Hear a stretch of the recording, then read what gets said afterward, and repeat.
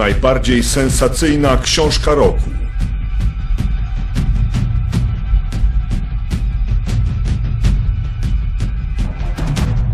Zagrożenie bezpieczeństwa. Mamy niepokojące wiadomości, panie prezydencie. To znaczy? Udało się nam zlokalizować kilka prawdopodobnych miejsc przecieku. Zdrada. Przypominam ci, że za szpiegostwo Polsce grozi 10 lat. Gówno mi zrobisz! Mam w kieszeni tylu sędziów i prokuratorów, że jeszcze będziesz mnie przepraszał, śmieciu! Walka wywiadów. Kurwa, nie mamy już amunicji.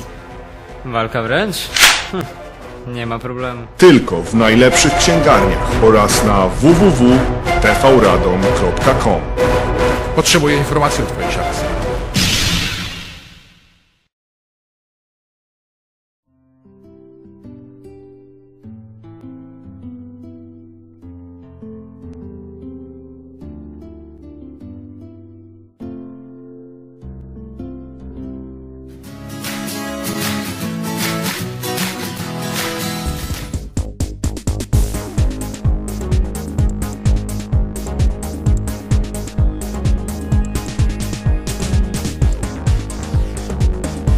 Dwa tematy. Jeden temat związany z e, zbliżającą się sesją i budżetem e, na rok 2021 oraz sprawa, która wyszła w ostatnich dniach i niestety została pokazana, została pokazana w przekłamanym świetle e, przez, przez radnych ko, Koalicji Obywatelskiej i radnego tak zwanego niezależnego dotyczącą kryteriów w sprawie Mieszkania Plus. Pozwolicie Państwo, że zacznę od budżetu. Prezydent skierował pismo do przewodniczących klubów w- 2 grudnia. My kolejny raz e, złożyliśmy swoje propozycje już 30 e, listopada do prezydenta. Wierzymy, że wśród budżetu, który nie jest idealny, wśród budżetu, który, który jest budżetem, można mówić o oszczędnościach, można mówić o budżecie przetrwania, ale nie zapominajmy, że to również budżet, który po stronie wydatków ma, je- widnieje kwota ponad miliarda 300 milionów złotych. Dlatego ja powiem o, o do dwóch, trzech sprawach, które są dla nas niezwykle ważne, bo my trochę za bardzo skupiamy się na budżecie inwestycyjnym, zapominając chociażby, a my jako radni Klubu y, Prawa i Sprawiedliwości chcemy pamiętać i pamiętamy o pracownikach DPS-ów i MOPS-ów. Drodzy Państwo, e, pracownicy, którzy naprawdę w czasie pandemii koronawirusa, którzy pracują z ludźmi, pracują w terenie, pracownicy socjalni, potrzebują, ja nie chcę mówić, że natychmiast, że dziś, ale potrzebują w roku 2021 e, podwyżek.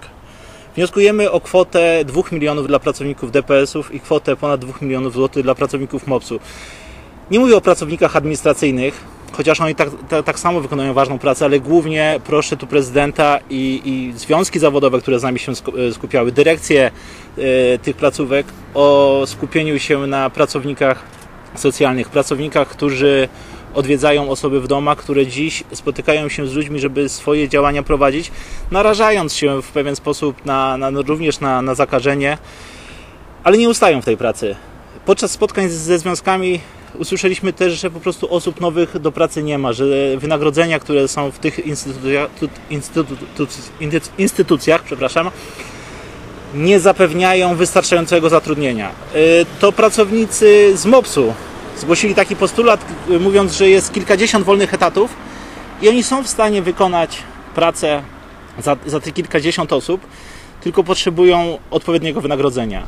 Jest przerost zatrudnienia, to też jest jeden z naszych postulatów. Przerost zatrudnienia w urzędach, w kilku instytucjach na poziomie administracyjnym. Dziś od gospodarza miasta wymagamy odważnych działań i odważnych decyzji, nie zawsze, nie zawsze popularnych, ale ja tego nie boję się dziś powiedzieć. Nie zabraknie nam urzędników, nie zabraknie nam pracowników administracji, ale pracowników socjalnych może nam za chwilę zabraknąć. I tutaj gorący apel do pana prezydenta. Jeszcze jeden postulat. 2021 rok to kolejna okrągła rocznica wydarzeń czerwca. Wnioskujemy do pana prezydenta o przyznanie zasiłków specjalnych dla osób, dla bohaterów tamtego czasu, dla bohaterów Radomskiego Czerwca kwota 300 tysięcy złotych. Myślę, że jest kwotą, która pozwoli przyznać te, te zasiłki w, wysokości godnej dla, dla wszystkich tych osób. Jedynym, znaczy może nie jedynym, głównym kryterium e, jak, jakie tutaj widzimy, jest po prostu posiadanie zaświadczenia z IPN-u. Wierzymy, że do tego postulatu, bo myślę, że w Radomiu wszyscy pamiętamy o bohaterach czerwca, nie będzie problemu, żeby prezydent się przychylił. Jeżeli chodzi o budżet inwestycyjny, proszę radnych tutaj o, o wypowiedzi. To może jeszcze ja. Bo ja To najpierw pani bo- Kinga. Bo ja też, e, bo ja też chcę e, powiedzieć o sprawie, która e, nie dotyczy inwestycji. Szanowni Państwo, ja chcę zabrać głos w sprawie schroniska dla bezdomnych zwierząt w Radomiu. E, Wśród e, naszych propozycji jest e, postulat, aby zwiększyć dotacje dla schroniska z kwoty 1 100 do kwoty 1 200 z- do kwoty 1 200 e, tysięcy złotych. Szanowni Państwo, umowa e, z Towarzystwem Opieki nad e, Zwierzętami w Radomiu na prowadzenie schroniska e, została zawarta chyba w ubiegłym roku, w związku z czym trudno było również przewidzieć koszty, wzrost płacy minimalnej, podwyżki cen za wywóz chociażby odpadów. Osta- jakiś czas temu mówiłam o tym w Radio Rekord, że sytuacja schroniska jest tragiczna, bo rzeczywiście jest. Schronisko utrzymuje się głównie dzięki zbiórkom, zbiórkom żywności e, dla, dla zwierząt tam przebywających. Ciągle brakuje środków finansowych na leki, na, e, na leki, chociażby na wypłaty wynagrodzeń e, dla pracowników, e, ponieważ w tej dotacji nie jest uwzględniony wzrost e, płacy e, minimalnej. E, Chciałam tutaj dodać, że e, w naszym mieście e, na prowadzenie schroniska jest e, podpisana umowa e, z Radomskim Towarzystwem Opieki nad Zwierzętami. E, Natomiast chociażby w Warszawie schronisko na Paluchu jest e, jednostką budżetową e, i utrzymanie takiego schroniska, w którym e, liczba psów jest porównywalna, jest kilkukrotnie wyższe. Stąd nasz apel do prezydenta, aby naprawdę docenić starania osób, które są zaangażowane e, w prowadzenie e, naszego radomskiego schroniska i tą dotację o 100 tysięcy e, złotych zwiększyć. Drugim postulatem jest wpisanie zadania do budżetu polegającego na kastracji i sterylizacji bezdomnych zwierząt. W tym roku były realizowane, zresztą dosyć opieszale przez, przez Wydział Ochrony Środowiska, były zapisane środki w budżecie obywatelskim na ten cel w wysokości 300 tysięcy złotych. To były dwa zwycięskie projekty. E, Natomiast na 2021 rok nie mamy takich projektów e, i pan prezydent nie przewidział, nie zapisał nawet 10 tysięcy złotych na sterylizację i kastrację bezdomnych zwierząt. Szanowni Państwo, e, aby walczyć z bezdomnością, musimy, z bezdomnością zwierząt, e, przede wszystkim musimy jej e, zapobiegać, tak? E, Pewnego rodzaju zamykamy się w błędnym kole, bo nie chcemy z tą bezdomnością walczyć, a nie chcemy też zwiększać środków na prowadzenie tego schroniska. E, W związku z tym e, no, nasz postulat, tak, zwiększenie dotacji o 100 tysięcy złotych e, i wprowadzenie zadania e, polegającego na kastracji i sterylizacji bezpańskich i właścicielskich zwierząt e, za kwotę 100 tysięcy złotych. Teraz przekażę głos e, koledze, który powie już o zadaniach inwestycyjnych. Dziękuję bardzo. Dzień dobry, witam serdecznie. E, Szanowni Państwo, głównie z mojej strony co chciałem powiedzieć to zaapelować do Pana Prezydenta, aby powrócić do programu utwardzania i remontowania dróg, bo Radomianie naprawdę są bardzo zawiedzeni, że w tym roku, w 2020 program ten znacznie przystopował. A trzeba podkreślić, że przed wyborami bardzo wiele ulic znalazło się na liście do utwardzenia, a ulice te po prostu nie zostały utwardzone. I co jeszcze niezwykle istotne, zależy nam szczególnie na tym, aby już do uchwały budżetowej został przedstawiony załącznik, które ulice zostaną wyremontowane, które ulice zostaną utwardzone, tak żeby nie było później żadnych niejasności czy pretensji ze strony mieszkańców, żeby mieszkańcy nie czuli się zawiedzeni i na tym szczególnie nam zależy. Powrót do programu remontowania i utwardzania dróg i ulic. Dziękuję bardzo, to tyle z mojej strony.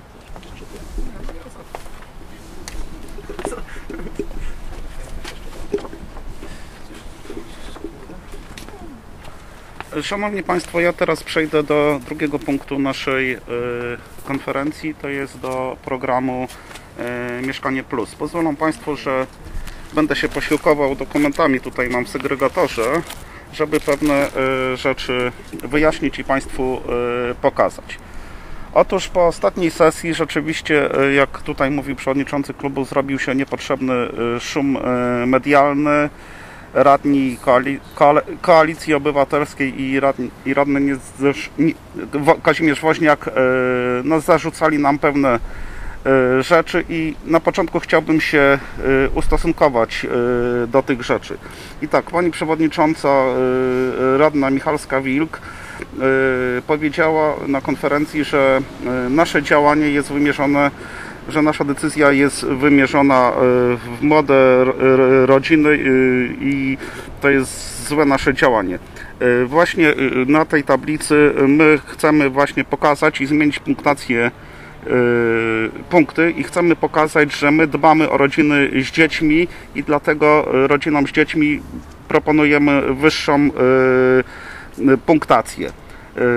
Powiem tak, że wszystkim nam zależy, nam jako radnym Prawa i Sprawiedliwości, prezydentowi, radnym Koalicji Obywatelskiej, żeby te mieszkania powstały i żeby te kryteria były jak gdyby mniej więcej wszystkie dla równych. Propozycja pana prezydenta, no taka nie była i dlatego my to chcemy e, zmienić. E, Następną rzeczą, którą powiedziała, to było to, że jest to decyzja e, polityczna wymierzona w prezydenta. No szanowni Państwo, no gdzie tu, gdzie tu polityka? Tu jest e, merytoryka, pracujemy na, e, na dokumentach i zaraz jeszcze powiem, e, odniosę się do tego, dlaczego jest to, e, nie jest to decyzja polityczna, tylko jest to merytoryczna e, w dalszej części e, mojej e, wypowiedzi. E, Pan radny Kazimierz Woźniak nazwał tą całą sytuację skandalem czy e, sabotażem. Ja powiem tak, zwracając się do pana radnego. e, Wielokrotnie pan, panie radny, jak rządził e, prezydent Kosztowniak, głosował inaczej niż prezydent składał e, projekty uchwał. Wtedy nikt nie, nie nazywał tego, nie, nie mówił, że jest pan sabotażystą, nie nazywał tego skandalem. Po prostu jest pan radnym, ma pan e, prawo do tego, żeby e, wyrażać swoją opinię, głosować i ze względu na pana wiek i na pana siwe włosy bardzo bym prosił, żeby nie wprowadzał pan takich elementów i takich wypowiedzi do e, życia politycznego i publicznego, bo one ni- niczemu nie służą. Pani radna Michalska-Wilk jeszcze zadała pytanie, czy leci z nami pilot. Odpowiedź na to pytanie jest banalnie prosta. Nie, nie leci z nimi pi- pilot. I, I pani radna Michalska dobrze o tym wie, że nie leci z nimi pilot, bo sama stara się i będzie startować na szefa koalicji y, Platformy Obywatelskiej w Radomiu. A teraz merytorycznie, proszę Państwa. Uchwała numer 360, która, którą złożył e, pan prezydent e, Witkowski radnym, nie, nie miała pewnych rzeczy, które wynikają z ustawy, któ- niektórych e, punktów. Ja teraz przeczytam, których to e, punktów z ustawy nie było zapisanych w tej uchwale. I tak, y, w ustawie jest zapisany punkt y, odnośnie tych kryteriów, y, które Rada y, przyznaje, że jednym z kryteriów jest to, że osoba wchodząca w skład gospodarstwa domowego wcześniej złożyła wniosek o zawarcie umowy najmu mieszkania w tej samej miejscowości, jednak nie zawarła umowy najmu z powodu większej liczby najemców posiadających zdolność czynszową niż liczba dostępnych mieszkań tego zapisu w uchwale zabrakło. Następnego zapisu, którego zabrakło, najemca powyżej, który ukończył 65 lat. Następnego zapisu, którego zabrakło w uchwale, a jest to zapis ustawowy, najemca był w przeszłości właścicielem budynku mieszkalnego jednorodzinnego lub lokalu mieszkalnego lub, przysługu, lub przysługiwało mu w przeszłości spółdzielcze prawo własności do lokalu, którego przedmiotem był lokal mieszkalny lub dom jednorodzinny, lecz wskutek działania żywiołu lub katastrofy budowlanej utracił ten budynek lub lokal. Tego też zabrakło. Następny punkt yy, z ustawy, którego nie było w uchwale. Osoba wchodząca w skład gospodarstwa domowego jest właścicielem lub współwłaścicielem nieruchomości obejmującej budynek mieszkalny lub budynek o funkcji mieszanej obejmujący funkcję mieszkaniową, który podlega wywłaszczeniu. I proszę Państwa, my te punkty, które są w ustawie, a zabrakło ich w uchwale, chcemy wprowadzić y, do uchwały po to, żeby mniej więcej wszyscy mieli równe szanse starać się o mieszkanie, a nie tak jak pan zapropo- prezydent zaproponował w swojej punktacji, to żeby przesiedlać y, mieszkańców, którzy już mają mieszkania mieszkają w zasobie gminnym miasta Radomia i, i, i zaproponował im na początku 10 punktów, później łaskawie to zmniejszył do 5 punktów, co tak naprawdę nie miało żadnego znaczenia, bo i tak przy tej punktacji te osoby by w stosunku do innych zyskiwały y, więcej y, punktów i prawdopodobnie one by były preferowane i się znalazły y, w- punktacji na wyższych miejscach niż te osoby, które y, no, nie, nie mieszkają, nie mieszkają w zasobach y, lokalowych. I tak, tutaj jest na tej tabelce jest część tylko na, na, naszej punktacji. Generalnie to jest tak, że już tutaj posiadam wstępny projekt. Ja jeszcze pozwolą Państwo, że nie będę go y, Państwu przekazywał, ponieważ y, jutro mamy posiedzenie klubu, na którym będziemy dopracowywać y, ostatnie poprawki i prawdopodobnie będziemy składać y, projekt uchwały w poniedziałek, żeby ten projekt uchwały procedować 14 grudnia, czyli na e, sesji e, e, budżetowej. Natomiast powiem tylko tak, że różnice polegają dwa tylko do, dwóch rzeczy się odniosę. Tu jest więcej, nie chcę o wszystkich mówić, ale w projekcie uchwały y, prezydent y, zapisał dwa punkty na każde dziecko najemcy pozostającemu w związku małżeńskim lub, pozos- lub pozostającym z osobą wchodzącą w skład gospodarstwa domowego. My chce, chcąc promować e, młode rodziny czy rodziny z dziećmi, e, proponujemy, żeby zwiększyć tą ilość punktów do trzech punktów za, za każde dziecko. Najemca, który, następny punkt, y, że następca, nast- najemca, który do dnia złożenia wniosku nie przekroczył 35 roku życia i samotnie wychowuje dzieci, e, pan prezydent zaproponował dwa punkty za każde dziecko. My chcemy zwiększyć e, to, to kryterium e, do trzech punktów. Następnym kryterium chcemy też e, zwiększyć e, punkty dla osób, które są e, niepełnosprawne. e, e, e, I to też w projekcie uchwały e, zawrzemy. Następną sprawą e, to jest to, że e, w związku z tym, że troszkę y, jest y, opóźnienie y, związane z wprowadzeniem tej uchwały, mogliśmy się do tego lepiej przygotować i na przykład dzięki temu mo- mogliśmy też przeanalizować, jak to wygląda w innych miastach. Tu oczywiście na tabelce jest to w małym stopniu, ale, ale pokazane. Natomiast generalnie w innych miastach, na przykład w Katowicach, w Krakowie, jak Państwo chcecie i sobie weźmiecie uchwały, które te rady y, tych miast podejmowały, na przykład u nas w uchwale nie było czegoś takiego jak y, nie było doprecyzowane, jak te wnioski się e, składa. Tam jest to doprecyzowane, że są to na stronach urzędu odpowiednie programy, tak zwane generatory, gdzie można albo za pomocą elektroniczną złożyć to przez internet, albo jak e, w przypadku bodajże chyba Katowic e, jest udostępniony pokój gdzie, e, i, i komputery, gdzie jeżeli ktoś nie może złożyć w formie papierowej zwykłej, to może wypełnić ten wniosek w urzędzie, po prostu przyjść i skorzystać z komputerów urzędu z pomocy urzędnika, bo w naszej uchwale, którą złożył prezydent, też był taki zapis, że o kolejności, w przypadku równej ilości punktów, o kolejności e, zgłoszenia wniosku e, decyduje e, kto pierwszy złożył wniosek. Tu też mamy pewne zastrzeżenia, bo pojawia się problem tego typu, że jeżeli ktoś złoży przez internet, a ktoś złoży, nie wiem, w formie papierowej do urzędu, to kto będzie, że tak powiem, jeżeli te osoby będą, te, czy te rodziny, ci najemcy starający się o to, kto będzie pierwszy e, ro, rozpatrywany.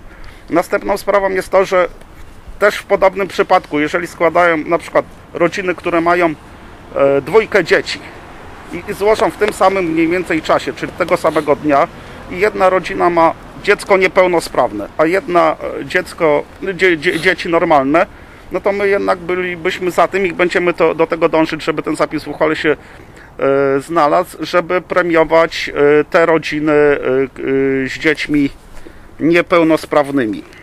E, Czy coś jeszcze chciałem powiedzieć?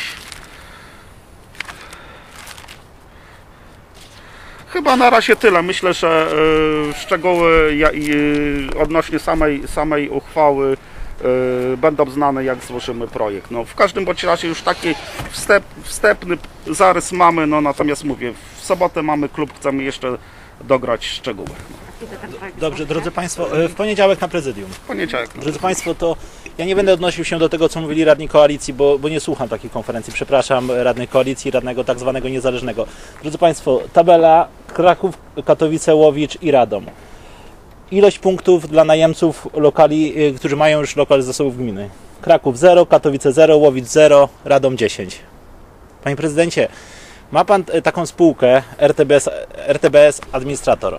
Ta spółka jest po to, żeby budować mieszkania socjalne. To, że prezes Barszcz, pana kolega, z którym w kampaniach e, fajnie pracujecie, jest deweloperem, zarabia na mieszkaniach, nie stawia e, mieszkań socjalnych, to, to nie jest wina i powód po to, żeby 124 e, czterem rodzinom, które mogą dostać e, lokale na, przy ulicy Tytoniowej, utrudniać dostęp do tych lokali.